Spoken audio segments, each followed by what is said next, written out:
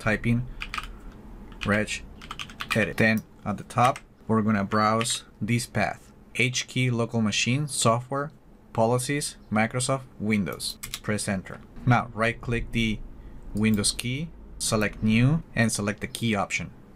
And we're going to name this key Windows Update. Now we're going to right click the Windows Update key. We're going to select new and then we're going to select the key option again. And we're going to name this key AU and then press enter. Then we're going to right click the key.